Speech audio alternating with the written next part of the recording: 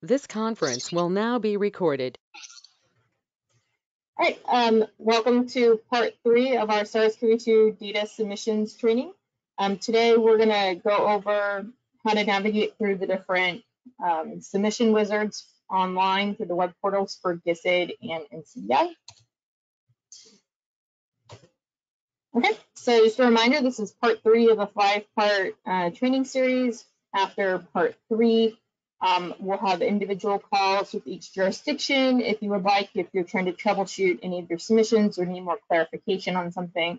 Um, also, please let me know if one of the scripts doesn't work with your data files, if they're formatted differently, and I'll be sure to make edits to those to make sure that they're working for everyone as needed.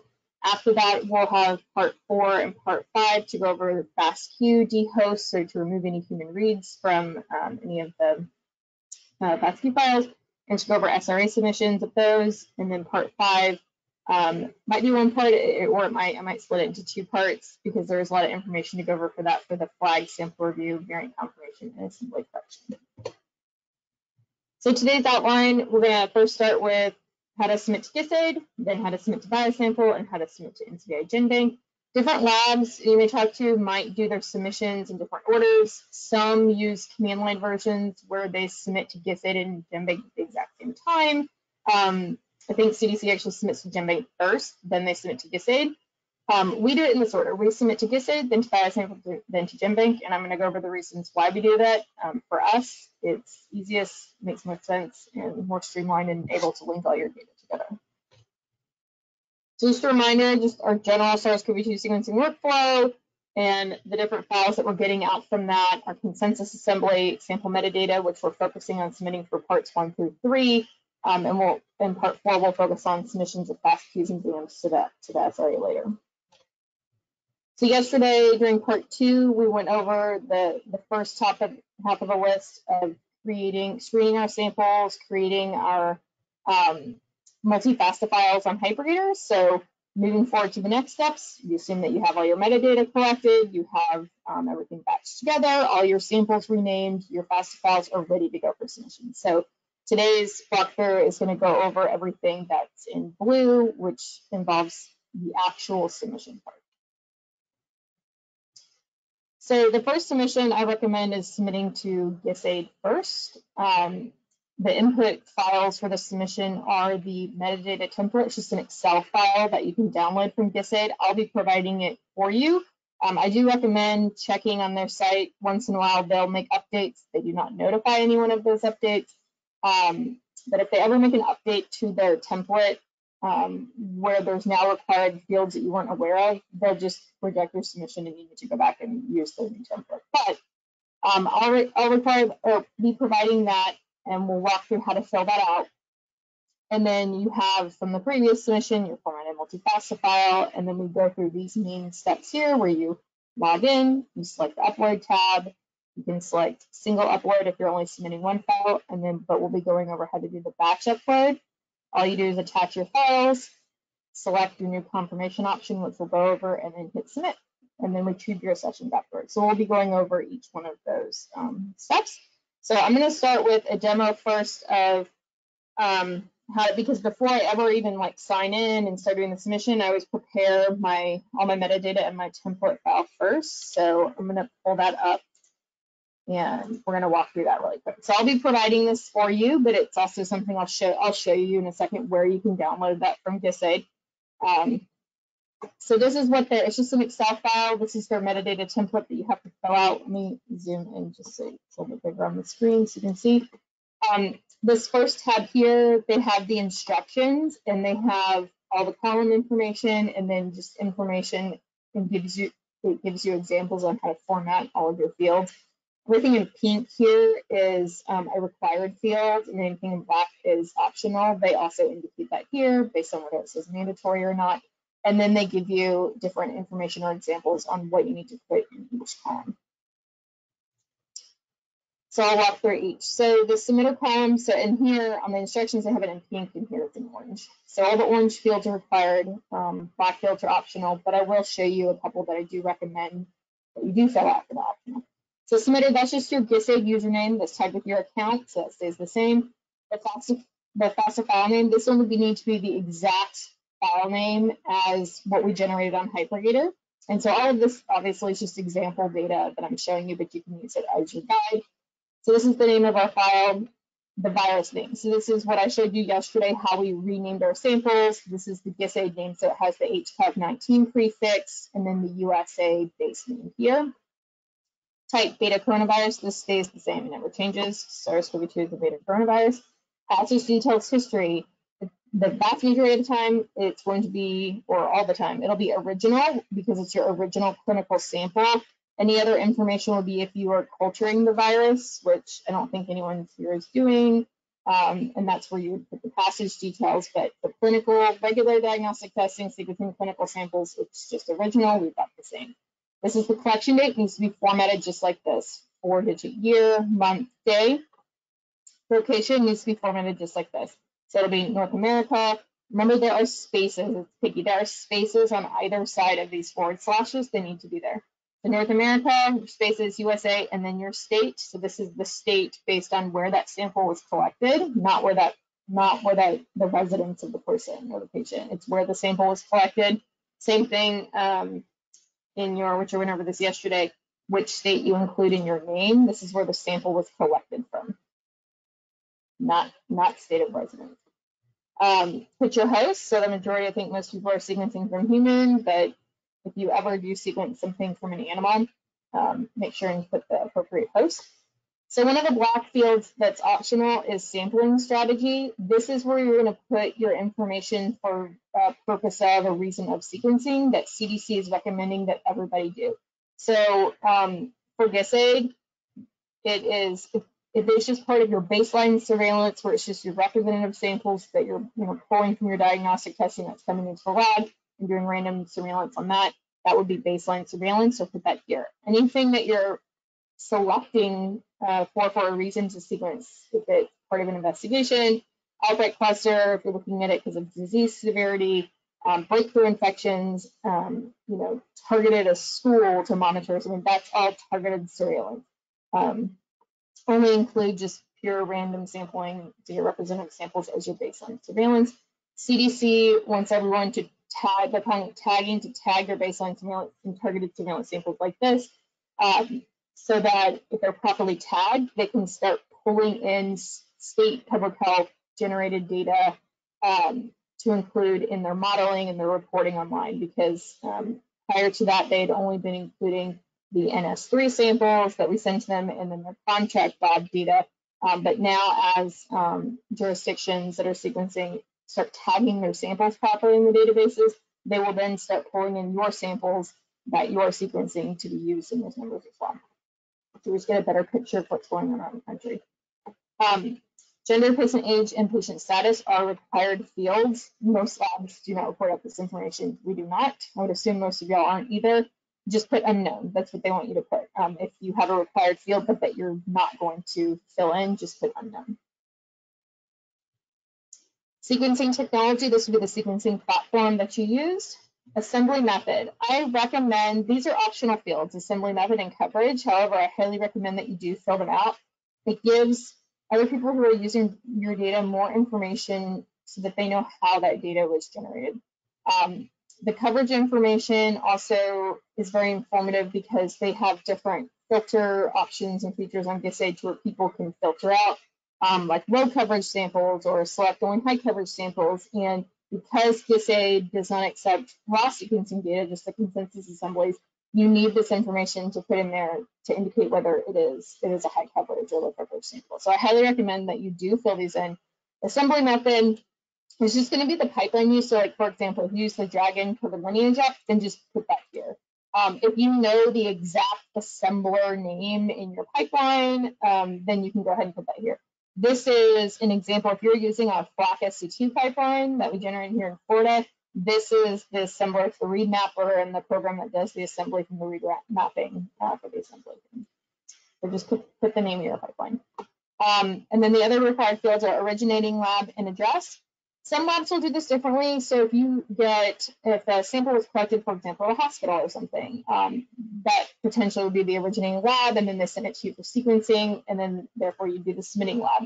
However, we don't put extra information like that in there because then it gives extra data about, oh, this was potentially a hospitalized patient from this hospital or whatnot. So we here in Florida just put our public health lab name for both the originating lab and the submitting lab, even if for some samples, if they originated in a different clinic or hospital and then came here for sequencing, we still put originating lab so that we're not releasing any additional information about that particular sample.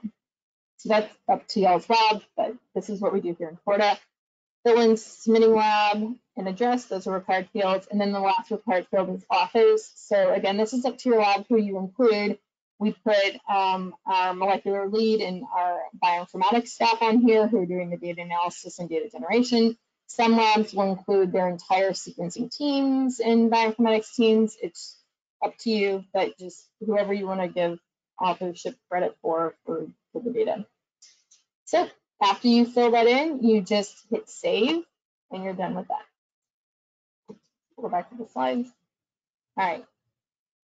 So we have our metadata template filled in. That's the file that you generated on HiPerGator. And now we're going to walk through the different steps. So you'll log into HiPerGator and sign in, and it takes you to this page here. You're going to click on the upload button. It's going to give you the option to do a single upload or a batch upload. The vast majority of the time, you'll click on batch upload. This is where you're submitting more than one sample at a time. Um, there's been a few times where I've used the single upload button. It just pops up like an online form that you fill out all the information as opposed to attaching your um, Excel template. I've done that if I've had to, like, if I had one sample that got flagged in a submission, I had to correct it or something and then resubmit it. Um, I then use the single upload. Or if there is, um, you know, a high priority sample, something like that, that we needed to get the accession really quick for to give to someone, I just submitted that one super quick as a single upload. So, so there are times where you might use that. The vast majority of the time, you'll you'll be using the, the batch upload um, it always pops up. I just wanted to point this out. It always pops up this notification that there is a way to um, upload your samples using a command line interface. We don't use that because all of our metadata is on our local computers. I find it pretty simple and straightforward for filling out the Excel templates and how we um, keep everything organized. So um, there is that option if you want to use it. Um, I think the way we do it is, is pretty simple and allows for um, a more efficient way of organizing everything and making sure we don't skip over anything. You just have to click OK to acknowledge it. So this is this the submission sheet essentially. You're going to it's going to ask for you to um, upload your metadata file. So it's the Excel template that you just filled out. It's going to ask to upload your um, FASTA file. So that's the multi-FASTA file that you would have generated on HiPerGator. Um, and then I'm going to point out this new option that's that hasn't been here that long but it's now making the submission process a lot more um, friendly in that it is accepting more sequences. So after you attach your two files, um, you'll select one of these confirmation options, and I'm going to go over in detail what they mean. There's three choices to choose from.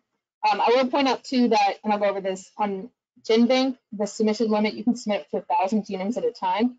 GISAID, they give you a max file size, so this is 32 megabytes. Um, it's, I think the most the, mo the most uh, genomes I've ever submitted before, I think, was a little over 800, and um, and that was obviously fine for GenBank, but fine for GISAID too. So it probably equals out to, to around a thousand as well. Just wanted to point that out. Um, before I get to the going over in more detail on the confirmation options, I also want to point out this button down here where it says download instructions and template. This is where you can um, check from time to time if they've updated that Excel template. Um, like I said, they don't, they usually don't make any kind of notification to say that they have, um, but you can, you can always get a new, a new copy here if you need that for anything. Um, okay, so yeah, we're gonna go over now to select the confirmation options. So as I said, this is a new feature. It allows you to, it basically allows for an improved submission process to streamline and confirm more samples through submission before there was a bigger issue with you would prepare, let's say, for example, you prepared a 500 sample submission, you would usually get back, um, you know, 20% or 15% or 10% of those samples would get flagged and would get rejected.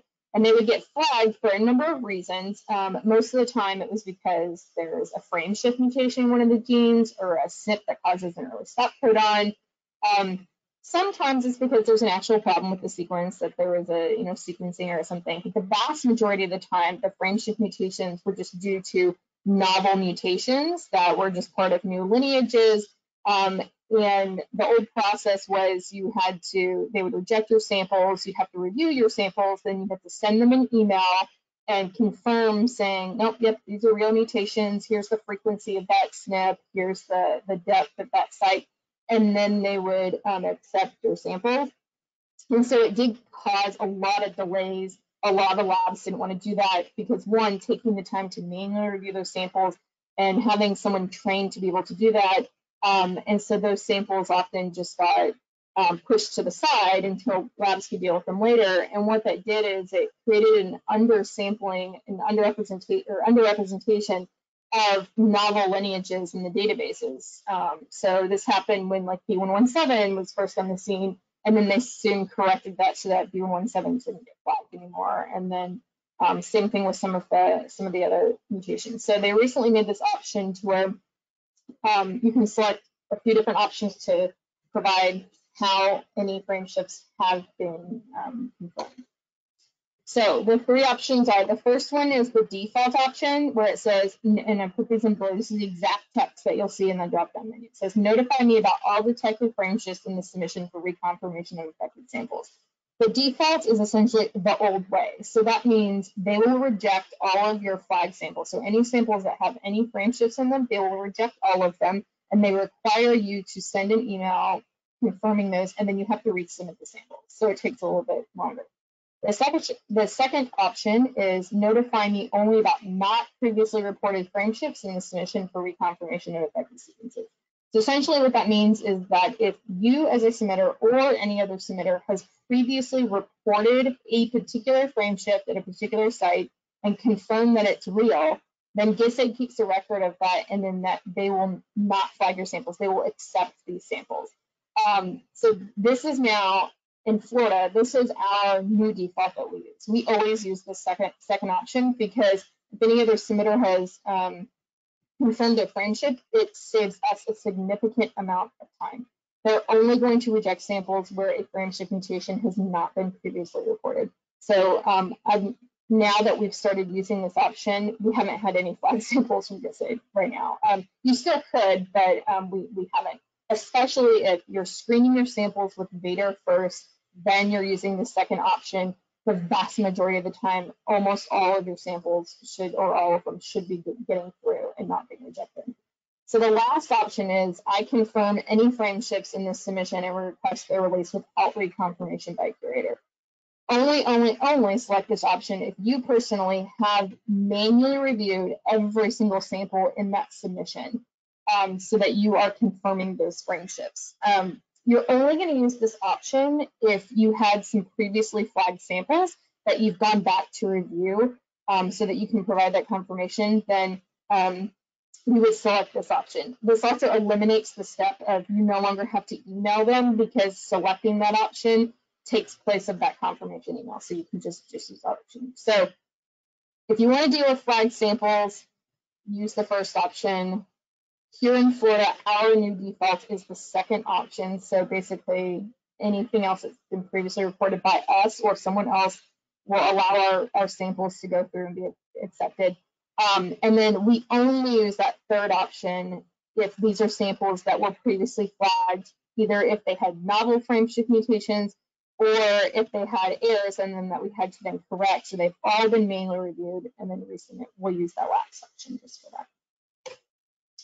Okay, so after you've selected your confirmation option, then you'll just hit uh, verify and submit at the bottom, and then it'll it'll go through, it'll indicate that it's processing and everything, making sure that there's no errors in your metadata sheet, all that kind of stuff, your samples match, and then um, if everything goes through correctly, it'll say completed and your data has been successfully submitted. So GISAID will, they usually um, will provide your accessions back um, either in about a day or two. It could be in as little as an hour or two. Sometimes it takes a few hours, um, but it might not be till the next day. It just it kind of depends. They send you an email. So whatever email is linked to your account, they send you an email and they say whether your samples have been uh, accepted or whether they've been rejected. They've been accepted, they send you an email with a list of all of your sessions just in the email, no file. It's not very helpful because they don't link them to your sample name, so you have no idea to know which is accession is which sample name, which is really annoying. So for GISAID, you have to manually retrieve your accessions yourself if you want to keep a record of everything. Um, so I'm about to show you how to do that. And here's kind of just a general step-by-step instructions here on the slide, but I'm going to show you how to do that. Okay, so log in and you'll, when you first log in, you will come to the EpiCoV site. You'll go to search. You'll then search by your state.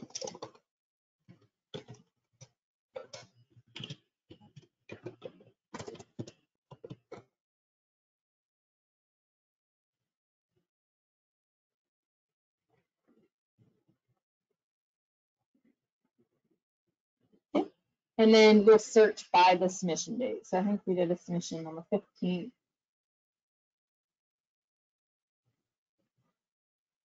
Okay. And then I like, you can hit this virus name and it will sort them for you. So I can see my samples that I submitted on the 15th. Um, it'll pop up everything. So there's these yellow samples here, but it'll attach the, the I can recognize and see all my BPHL samples. The, and these are the samples I'm looking for. I'm looking for these numbers. Um, and you can just check all, download, patient status metadata, download. I will note too that if you, um, that's why on the Excel sheet that I gave you where you keep a record of your submission dates so that you can go back, especially if it's been a day or two or over the weekend, you know what date to look for. Um, it will point out that sometimes if you don't, if you put your filter by your submission date and you don't see your data, try the day after um, because sometimes it will be available to you on, for example, like 915, but it might have got a, might have been recorded as 916. And I think it's because there's curators all over the world that are curating these samples. And it could be because their time zones differently, because I've noticed that where I've submitted things on one day, it's been accepted on that day, I can see it on that day, but then it's listed as the next day as the submission date. So I just wanted to point that out just in case you don't see it, try the day after. So it's now been downloaded um, and I can just open this and we can open it up.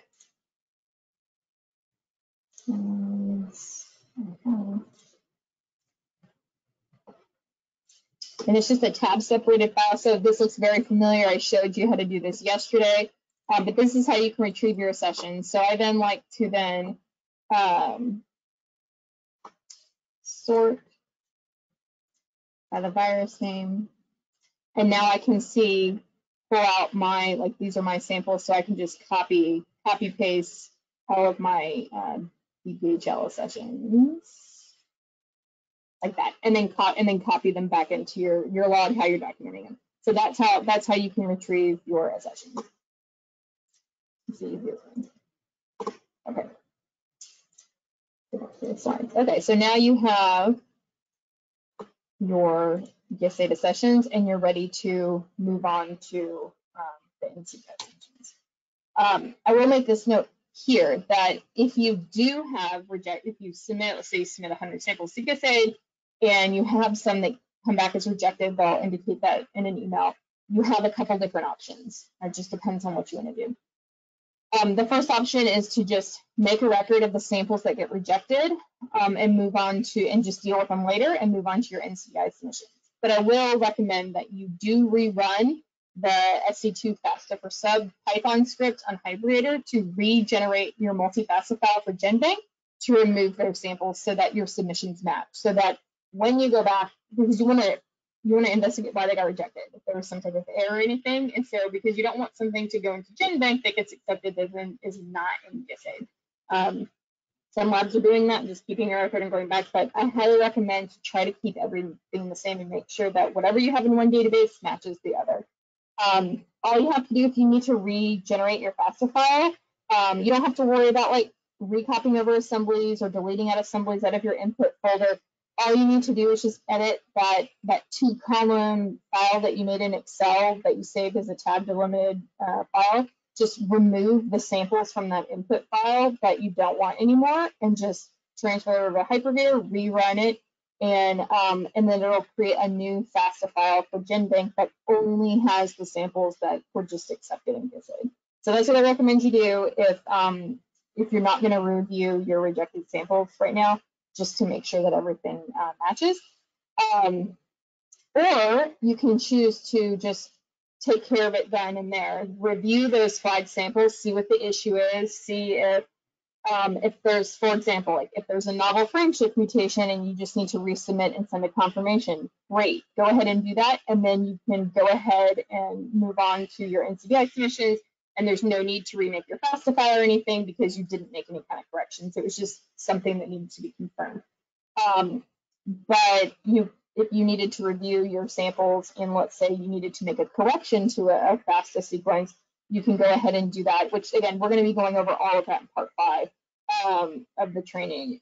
Make that correction, um, edit, remake your FASTA file those corrections, resubmit the rejected samples to GISAID, and then move forward with NCBI. So there's a couple different options.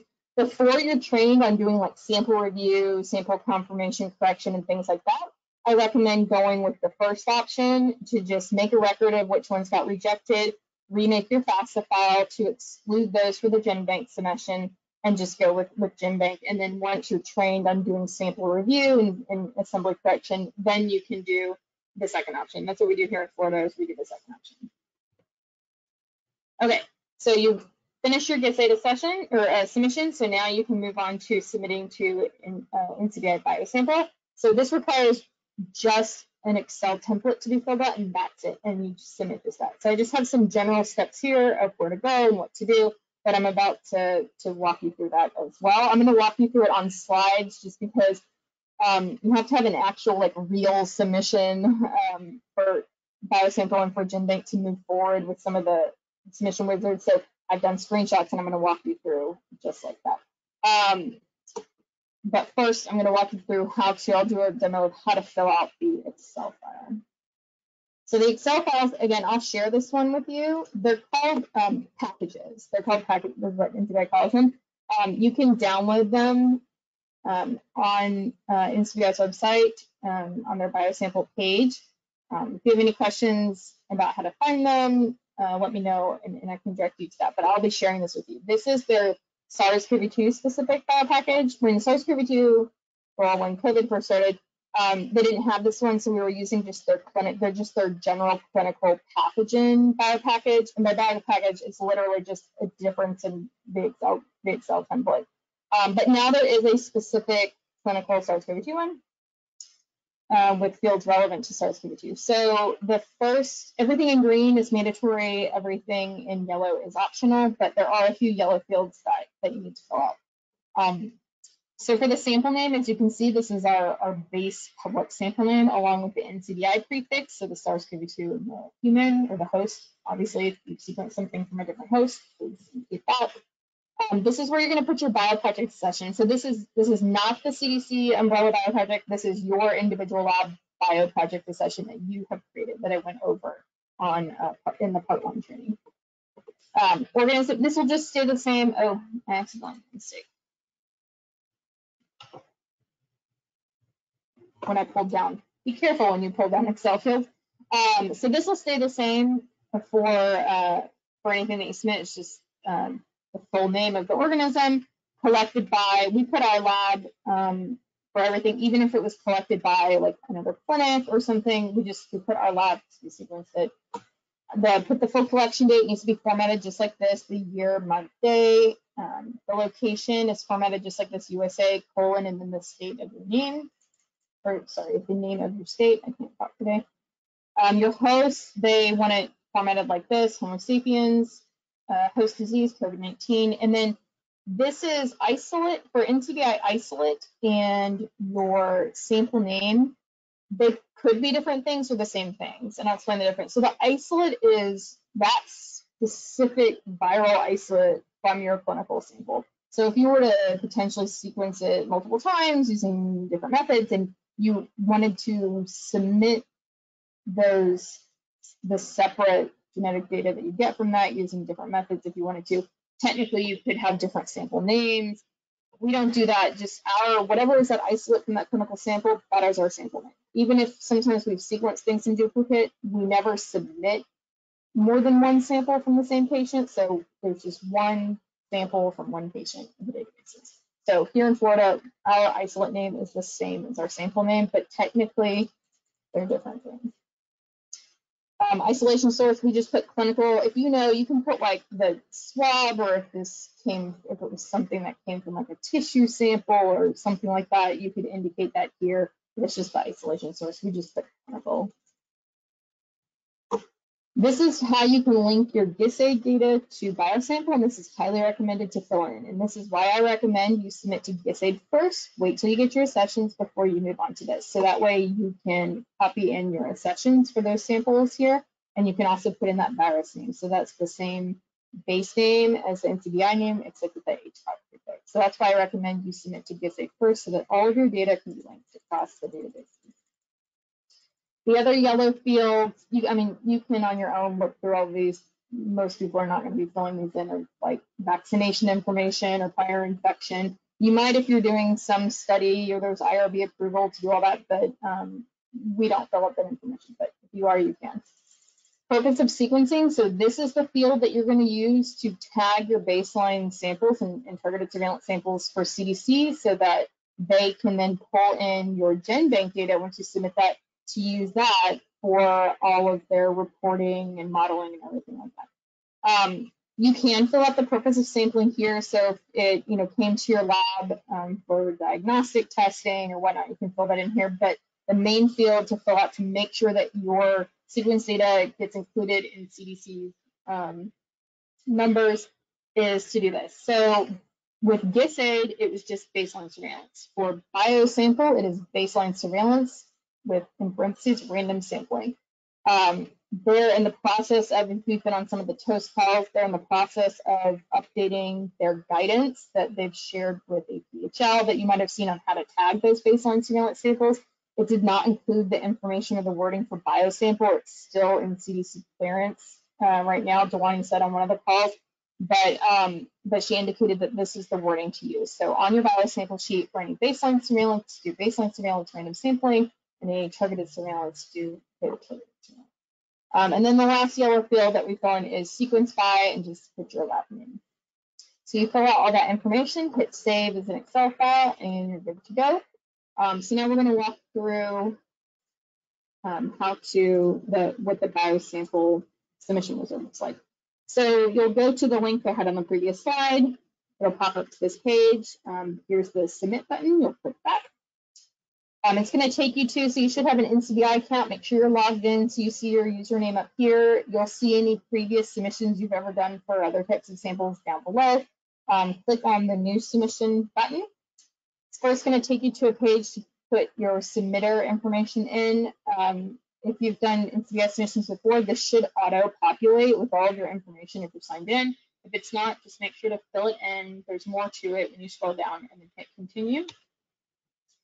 So the first page is going to ask when do you want this to be released to the public? Do release immediately, and then we're doing a batch um, submission. If for some reason you're only doing one sample for whatever reason, just make sure you click single biosample, um, but we're doing batch submissions. Um, so after that, you're going to select your sample type. So this indicates which package, biosample package you're using. We are, you'll select this first option here where it's SARS-CoV-2 clinical.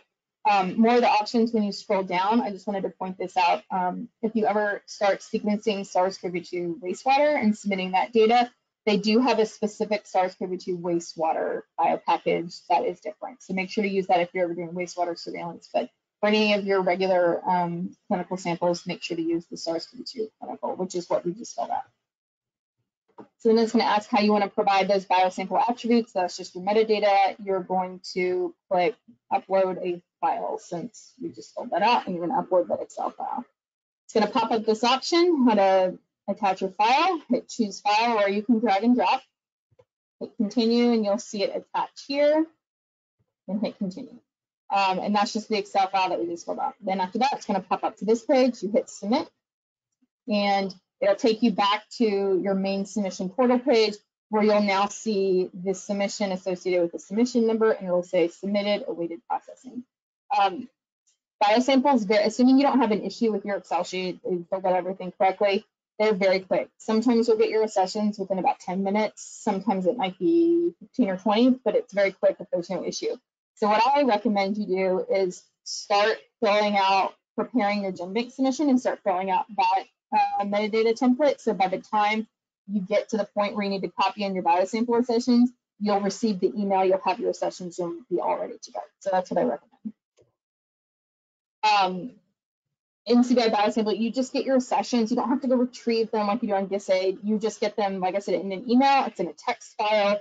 You can open it up in Excel. I do recommend that you open it up in Excel and um, so always sort based on the sample name prior to copying your accessions back into like your log file or anything like that, because sometimes they're not always in order. Biosample, biosample usually keeps things in order based on your sample name, but it's not guaranteed. So it's always safe to, to sort them before, just to make sure you don't accidentally copy something um, out of order.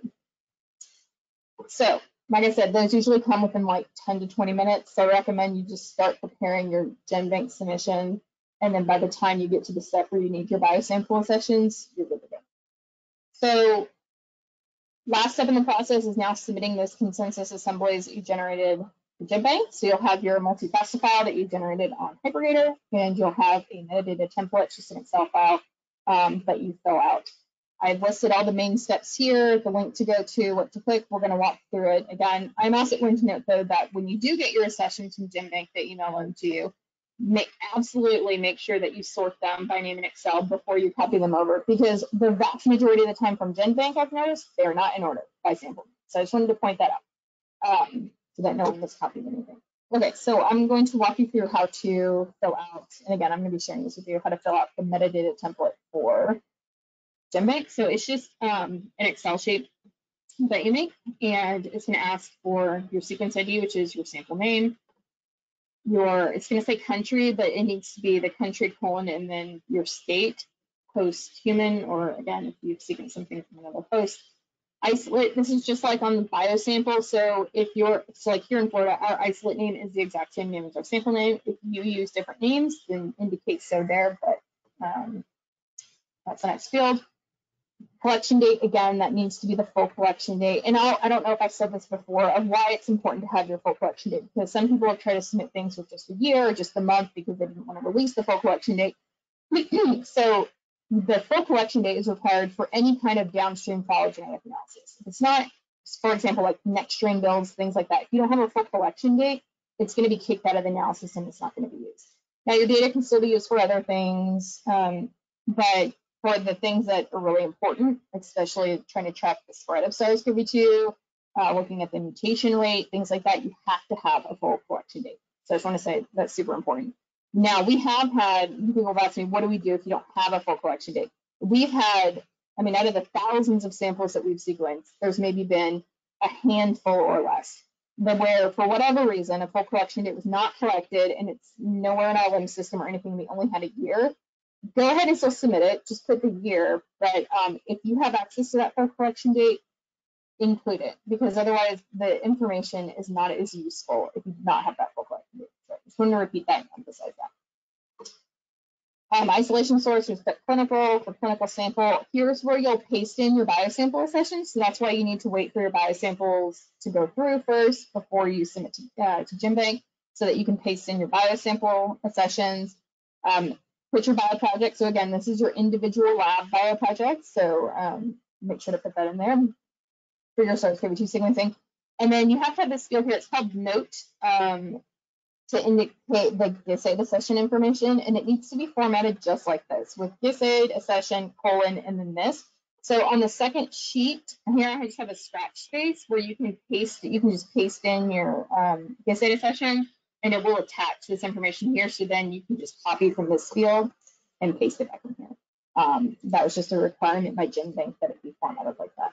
So I always save this as an Excel file, just so I have a copy of the Excel file of what I did, so that it always saves the second sheet and I can just use it for my next submission. I just delete out everything and just reuse the template and it just serves as my guide for the next one. But you also need to save it as a tab delimited text file because when you submit to GenBank, um, they will not accept an Excel file. It has to be a tab delimited text file. So I always save as Excel, save as text template. That way you have the Excel sheet for your next submission to use as a guide, um, and it'll save the second sheet with the scratch space. Um, but you need that text file for the for the actual GenBank submission.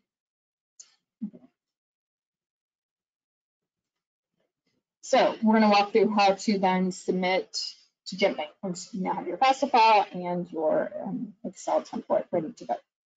So you'll go to the link that I have in the previous slide. It's going to pop you up to this page that they made specific for submitting your SARS-CoV-2 sequences. They have GenBank, and then later on we'll go over how to submit to the sequence read archive. So click on Submit for GenBank. It's going to look very similar to your submission portal for BioSample, but it's going to be different for GenBank, and you can see it keeps a record of all your previous submissions. Um, so if you ever do need to go back actually in the past and uh, let's say you accidentally lost a file or couldn't find the email with the previous accessions, you can always go back to your submission portal and get a list of your accessions there. So hit new submission. It's going to ask you what kind of submission type because they allow for other types for different um, viruses or different types of sequences uh, using this particular portal. So click on the one that um, allows for the option for SARS-CoV-2. It's then going to pop up from that list which virus in particular. So you hit SARS-CoV-2 and you can just do continue. You don't you don't need to fill out a submission title. So it's going to pop up the same page asking for the submitter information. Again, you should be logged into your NCBI account. This should auto-populate. If it doesn't fill it in, but it should be. So I usually never have to touch this page. Just hit continue. So next it's going to ask you what methods were used to obtain these sequences. So you'll click which which technology you use. Um, I think most labs are using Illumina. Some people are using um, Oxford Nanopore, which you would do other for that one. Um, so indicate the appropriate type, and then you also need to indicate whether these are assembled sequences, which they are, they're assembled. So you'll click this second option here. Um, this is why I recommend that you batch your submissions because of these GenBank options based on sequencing technology and assembly type. So if you, um, let's say you had submitted things on different platforms, you did some on Illumina and you did some on the MinION, I just recommend just group everything Illumina together and then group everything Oxford Nanopore together. Um, to do that to make things easier so that basically that these options can apply to all of your samples in this submission.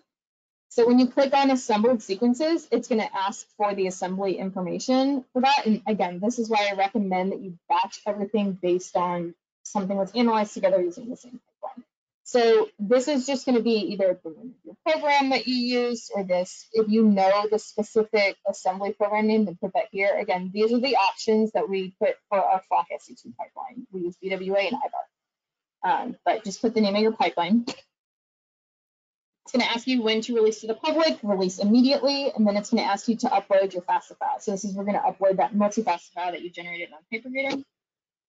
It's then going to, it's going to have a bunch of stuff pop up at the top in this yellow bar, indicating that it's processing, it's parsing through your FASTA file, making sure everything's formatted correctly. It's checking for like vector contamination and other types of things.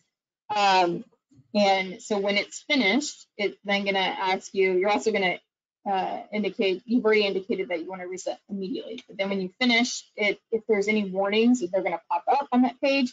And here's two that I get every single time. So, and it, and you don't need to take any action, just hit continue. But it says the following sequences were trimmed of ambiguous spaces. So our script trims all the ends that might be at the beginning of the genome, but GenBank will trim any ends that are at the end of the genome for you. So that's just what they did, that's fine. And then they also are indicating that they found ends um, internally in the genome. So, um, like, you know, in some of the, the gene regions, which again is fine. You're going to have the majority of your samples or many of them. You're not going to have a complete genome. You might have a few ends here and there. Sometimes you might have a whole gene missing if an amplicon dropped out or something. That's fine. Um, you just just hit continue.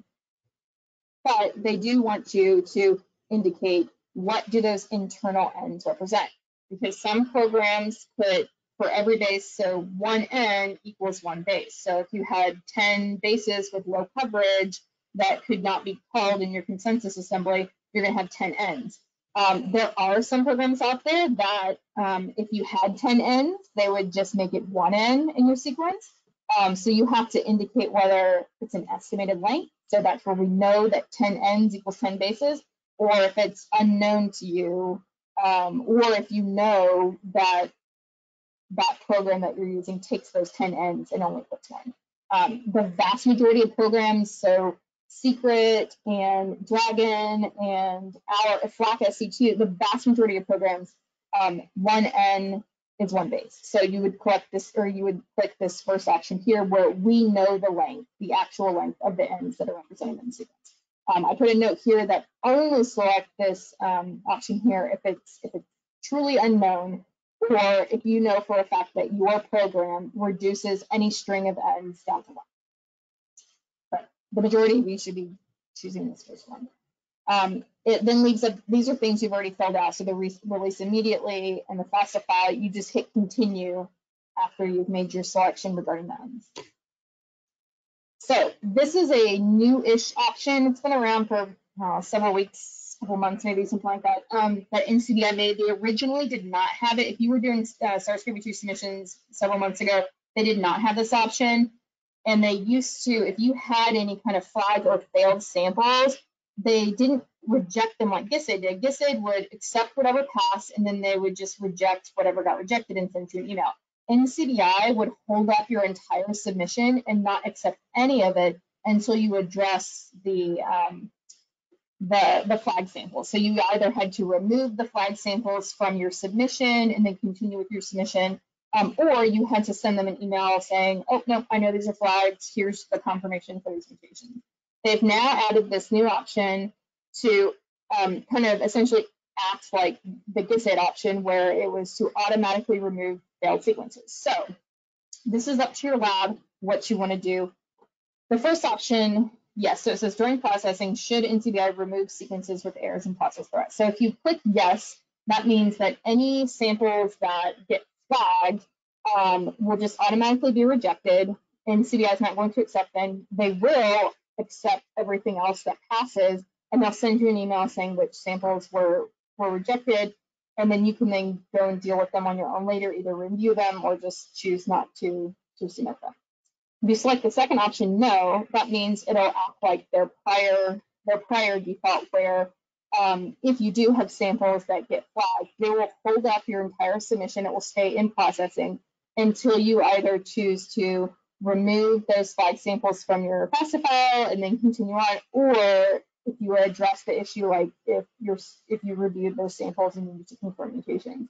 So again, I recommend that you choose the first option, yes, if you are not trained to review manual review samples, or if you don't have the time, you're going to batch them and give them to, to someone else to do later, um, I recommend that you choose yes. You shouldn't um, you shouldn't receive any flag samples. The fact that we're pre-screening with VADR, which is the same program that you're using, as long as VADR is up to date. Um, and I monitor it to make sure that it is up to date. There has been a time where I did miss an update and I got a flag sample and I was wondering why. It was because I missed their updates. But um, you shouldn't get any, or you should get very few, but you shouldn't get any. Um, if you do choose yes, and if you've already pre-screened with VADR. So again, that's why we pre-screen our samples with VADR on HiPerGator first, so that it just streamlines this process and you don't have to, you don't hit any bottlenecks or anything in this area. Now, if you would like to review your samples in real time, that's what we do here in Florida, we um, select the no option so that they will hold up our submission so that we can review those samples. But we also pre-screen everything with VADR first, so we we batch everything in the past past samples anyway. So even if we do select no, we should also still have zero flag samples or very few and when we have very few, it's manageable to be able to review those in real time. And then anything that got reviewed, uh, anything that got flagged on HiPerGator when we were doing our screen ourselves, those are things that we just hold back anyways on purpose. And when we have the time to go back and review them, we do. So we choose no. Um, but I will point out though, if you do get to the point where you are reviewing your samples, your flag samples, because you ran VADR yourself um, and you recognize which ones require manual review. When you decide, oh, yep, these are real mutations, I need to confirm them, or you made uh, corrections to your assembly, make sure you always choose the no option when doing the submission because what NCBI is going to do is it's going to recognize that those are still flag samples. And if you hit no, they'll hold it up. And all you have to do is then just shoot them an email saying, here's my confirmation for these samples. And they go, oh, okay. And then they release your samples. Um, if you if you choose the yes option when you're trying to resubmit flag samples that you've already reviewed, they're just going to keep on rejecting them over and over and over again because they're going to reject it before you have time to send them an email. Um, so I recommend choosing yes, the yes option. Again, if you're not re manually reviewing your samples yet, choose yes.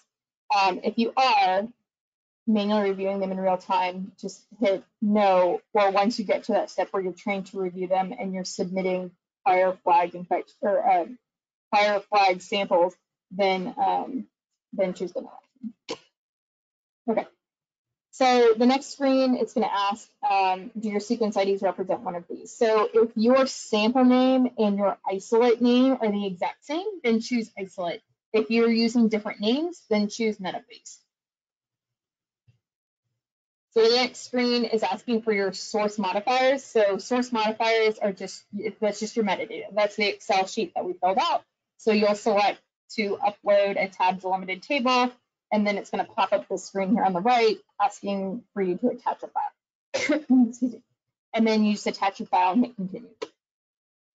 So the last page is, or the second to last page, it's going to ask for your references. So this is just your sequence authors. So um, you'll just fill it the first time you ever fill it in, you'll have to actually fill in first name, last name, and then if add the other author, first name, last name, first name, last name. Um, once you've already done a submission, it'll save the authors from a prior submission to where then you can start using this drop-down menu. And then you just select the list of authors, do apply sequence authors, and it will automatically fill this in for you. That way, each time you don't have to keep filling it out each time, which saves you some time. Um, then select the appropriate button for whether this is published data or unpublished. Vast majority of us, it's going to be unpublished. This is just our samples that are coming in. We're not writing up papers right now. Um, if you ever do use some of this this data in future publications, you can always email GenBank and update the publication issue with the paper afterwards. Um, but this will more than likely be unpublished data, so just click unpublished. It's then going to pop up something here that says reference title, and that you just leave it blank. Uh, you don't need to fill that in. And then hit continue, and then you'll finally get to the last page where it says review and submit, and then you click submit. It's going to take you back to your submission portal page where you can then um, see the new submission that you just made and that it's submitted. If you ever have to, if there's ever any kind of issue with your submission and GenBank emails you, um, they usually, they'll include this in the email, but just for your own reference, that if you're ever needing to email GenBank or about a submission, use this sub number here just in reference to your submission so they know which submission that you're talking about so that they can um, go back to that. So real quick, so as I mentioned, they're going to send you your accessions in, as a text file in an email. And when you get them, um, just make sure, again, I'm to repeat this, open it up in Excel and sort by the sample name. Um, so because GenBank, the majority of the time, for whatever reason, does not send them back in order. And so that way, whenever you're copying them back into an Excel sheet or however you're keeping track of all your submissions and linking them back, make sure you do that so everything's sorted. Um, and if you remember from the Excel template I, I shared with you, it was yesterday, um, where you can, it's where you're assigning your public names. That's where we keep track of all of our accessions. So as each one of these steps is completed and we retrieve our accessions, that's where we're copying them in. So we have one Excel sheet with our lab accession, with the GISAID accession, with the biosample accession, and with the GenBank accession, and then eventually with the SRA accession. So that way everything's linked, and that if you ever have to give data to anyone, to CDC or to collaborators or for a study or anything, you have everything in one sheet ready to go. Okay, so I'm just going to recap a few things here for our last couple slides before we end. Um, so regarding consensus assembly submissions, you can prepare, because this I know this seems like there's a lot of moving parts here with the submissions. There's several different, you know, Excel sheets you have to fill out. having to generate um, your FASTA file, copying your assemblies over. Um, it does, especially when you first start doing this. It seems like a lot and seems like it, it takes a lot of time. But with anything, as you do it more and more, um, you get really quick with it. I can do one of our batch submissions in sometimes under 30. I can go through this whole process in under 30 minutes sometimes now, depending on the sample number. For a larger submission, I can get it done in less than an hour. So as you do it more and more, it's it's not not as um, complicated as it might seem at first. And um, you can prepare, I recommend you do submissions like set a day once a week and just work on all of your samples that you've sequenced the, for, for that week or the week prior and do them all in one batch. Um, you can prepare, as I mentioned, you can do a thousand genomes at a time for GenBank and GISAID equals out to about that size too, just they just have it based on their file size. I think the largest submission I've done, we've done like over 800 in, in a submission. So um, also if you have like a backlog of sequences right now, if you haven't been submitting anything yet, um, you know, just choose whatever you think might be manageable. 500 samples at a time, 800 samples at a time, prepare those and just and get those submitted. Um, as I mentioned today, I recommend batching your submissions based on the sequencing technology and the assembly program that you use. So if you've sequenced different samples on different platforms, you're using different programs, um, it just that way you can apply the correct information in the GenBank submissions to those um, all at once. So what we do is we batch all of our submissions based on right now based on like pass pass. So whether they pass QC and then they pass the VADR flag and then we then um, batch them based on were these sequenced on an Illumina platform or were these sequenced on our Clear Labs platform, and um, and then submit those in, in separate batches, and that's what, that's what we do.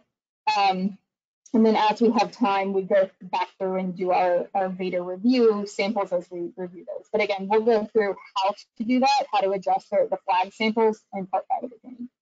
Um, also on HiPerGator, um, yesterday when I was showing you how to copy over the scripts and um, like edit the SBATCH script with your email and all that kind of stuff, um, you don't have to do that every single time. You can just make like I have in my uh, user folder, I have a SARS-CoV-2 folder I have on HiPerGator in my user folder space on the Blue Drive, and I have a sequence submissions folder. And I just do, that's just kind of like my um, scratch space to do all of my sequence submission preparation. So I just leave my scripts copied in there. So I don't have to recopy the scripts over.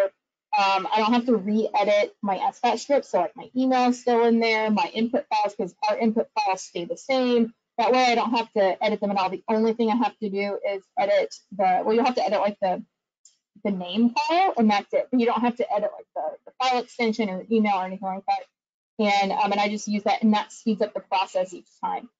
Um, I'll let you know. I'm going to update if there's ever any updates to VADR or make any updates to the scripts. I will let you know so that you can copy over the new version, and I'll make make that update to VADR for you. Um, also, when I'll just say this, when there is an update to VADR, go back and rerun your previously flagged samples because they've made multiple updates um, over the last several months. Before, they used to flag anything with a frameshift mutation. Then they um, allowed exceptions for open reading frame 8. Um, that was a, a, gene, an accessory gene that acquires a lot of frameshift mutations, and it was constantly, those samples were constantly getting flagged in the databases and being rejected. Um, but the, they were all real. They were all real mutations. So because it was happening so frequently, NCBI made the decision to stop flagging open reading frame 8 samples that had frameshift mutations in them. They've now done that to all the accessory genes. So open reading frame 3A, open reading frame 6, 7A, 7B, and 10, you no longer get flags for those samples if you have a frameshift mutation in those genes. Um, so that means we have a whole, and we're still making our way through our backlog. We have a whole bunch of samples from several weeks and several months ago that were all flagged by VADR because they had likely, we haven't confirmed all yet, but likely because they had frame shifts in those genes. Um, and even CDC said as they go back and they um, rerun their samples, it significantly, significantly reduces the number of flag samples. So if you have a bunch of review samples, flag samples from previous submissions that are just hanging out until you can get to them, go ahead and rerun them through VADR because um, they many of them, most of them likely pass now and then you can get those submitted. Um, also, if you ever need to correct or update a submission, let's say for whatever reason you submitted something to GISAID, you realize GenBank flagged it or vice versa, and you need to make an update to that FASTA sequence, just go ahead and make that correction and just shoot them an email with a file attached with the updated FASTA file, and they will make that change for you. Same goes with any kind of metadata. We've I've once submitted some samples and I realized I accidentally had the wrong collection date for whatever reason, got copied over. Um, I just send them a list of the accessions and say, can you please update to this collection date? And they just go ahead and do that. They're very nice, very responsive. Um, so if there's ever any need for even any kind of um, submission questions um, or any kind of corrections, you can uh, shoot them an email. This is also what you'll do. So if you've already been uh, submitting some of your sequences and now this CDC recommendation to tag your samples with their baseline or targeted surveillance for the purpose of sequencing. Um, for example, like here in Florida, we have a bunch of sequences that have been submitted that don't have those tags on them. We need to go back and add those tags on them all you have to do is provide a list. You can do it like in a text file, Excel file, provide them a list of your accessions and then just give them that field, whether it's, and then that value, just you know, sample one, baseline surveillance, sample two, targeted surveillance, and just do that and just email all of them and they will, and you can do this for a thousand or more. You can do it for thousands of sequences. Uh, I think CDC said they just did it with like tens of thousands of sequences all at once and they go back and update all of them. So if you ever do need to, to update anything, that's just how you do it. You shoot them an email with the with updated information. Okay, so um, I recommend if you have questions, you want to walk through a submission hands-on with me on a, a Teams call or we can share screens, please reach out to me, send me an email, um, and we'll set up those calls with, with either one by one with someone in your lab or with a whole group. We've done group calls before with your lab and we'll walk through with your data and you can we can walk through the entire process and we can set up multiple calls if we need to if it goes over you know a couple days waiting for those sessions um, just to make sure that um, you're comfortable with doing the submissions and troubleshoot anything if necessary um, so that you're all good to go so that you're be regularly submitting your consensus sets consensus assembly and once we get through all that everybody's comfortable submitting everything i'll go ahead and schedule the next two trainings. So the part four, how you submit your FASTQ files to the SRA, and then part five, how you, what do you do when you get a flagged sample, when a sample gets rejected, what do you do with it? And how do you confirm mutations? Because the vast majority, I want to say like 99 or 99.9% of the time, those samples are perfectly fine to submit either one of two things, confirming that those mutations are real or there might be a slight error, like a one base pair insertion that shouldn't be there. That was a sequencing error, and just making that one correction, just removing that one base pair insertion, and then sending it back. The vast majority of samples you can do that with. There's only ever been like a couple ever that we've done that just we just didn't feel comfortable submitting it because of the quality of it. Um, so we'll go over that during that. Um, the recording will be available, slides will be available. I've already copied those scripts that we went over yesterday. Those are copied over into everybody's public share scripts folders on HiPerGator. Um, slides have been um, uploaded. I still need to upload the recordings. I need to compress them first and upload them, but then they'll be there as well. And I've attached and shared the Excel files at that link too. If you are a new HiPerGator user that you've recently signed up for an account um, and you haven't gone through any of the trainings, please send me an email and contact me so that we can go ahead and set up your one-on-one trainings. Um, this will include if you're not familiar with command line and you and you haven't worked in command line before, um, we'll set up a Linux 101 training with you so that you can start working on HiPerGator. We'll also set up a call to set up your compute environment, install things that I recommend um, that are required for some of our scripts and pipelines to work, uh, it's a short call, and then we can also go through, if you're not familiar with uh, the BaseSpace command line interface, we'll also go through that as well, so you know how to pull in um, FASTQ data as well as any kind of results, for example, from like the DRAGEN uh, COVID lineage app, you can pull those over using the BaseSpace command line interface as well. All right, and with that, I'll take any questions. You can also put questions in the chat if you have any. Hey, Sarah, Brian from Tennessee. Um, hey confused about you, you run the VADR to um, check if there's any mutations, and then you, there's a uh, pop down in the NCBI to say ignore known mutations. Are those both the same thing? So are you talking about the NCBI, like the yes or no option to automatically reject flag samples? Is that what you're talking about? Yeah, so so y'all are running yeah, the, the FLAQ SC2 pipeline. So yeah, VADR's already being run. And so um it's not exactly the same thing, but essentially, if you've already pre-screened them with VADR and you're using the the current version, regardless of hitting yes or no, you shouldn't you shouldn't have any flag samples. But you know, you never know. NCBI might support it too.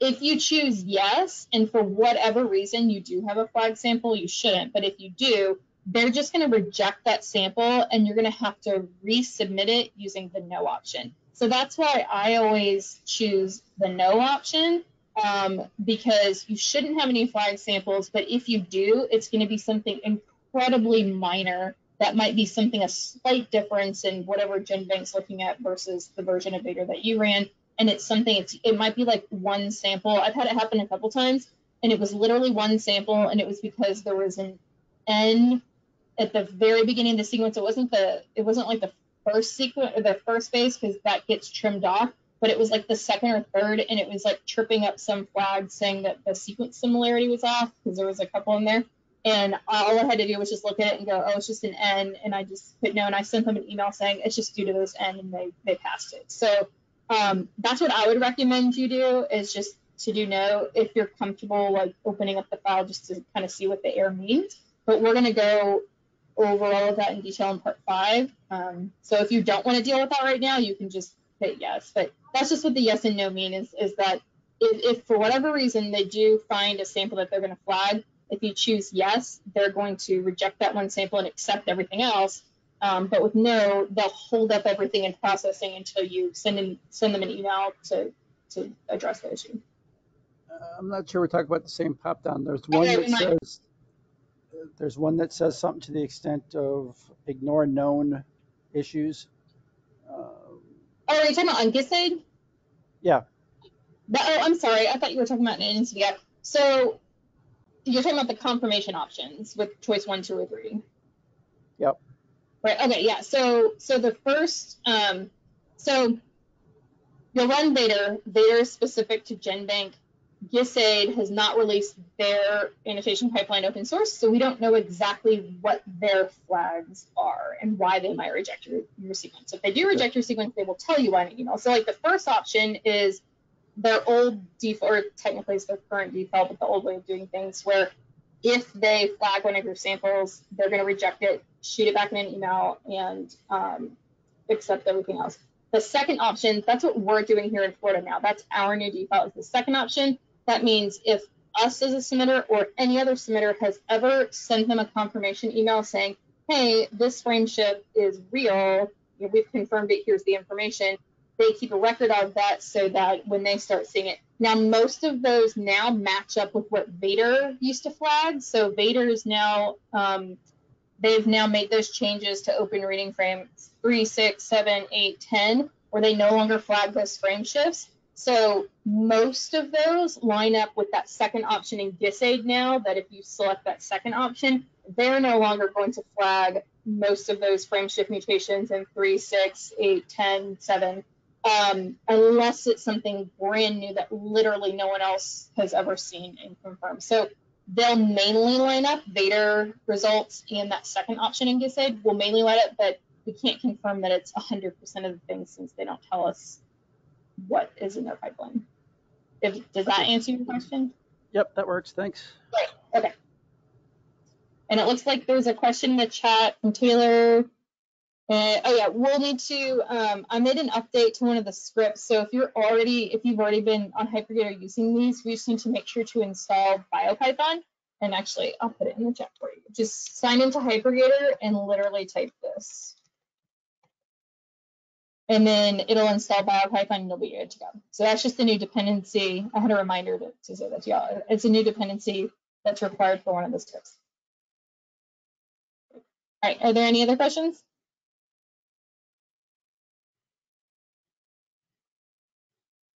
Okay, well, I'll go ahead and stop the recording and make sure the rest of the materials, slides, everything gets shared with y'all. Um, again, please email me to set up calls, walkthroughs if you have any other questions or want help troubleshooting to make sure that you are comfortable with, I want everybody to be comfortable with submitting consensus assemblies. Um, and then after that, I'll reach back out to everyone and go ahead and schedule the, the next two trainings. So everybody have a good Friday and have a good weekend.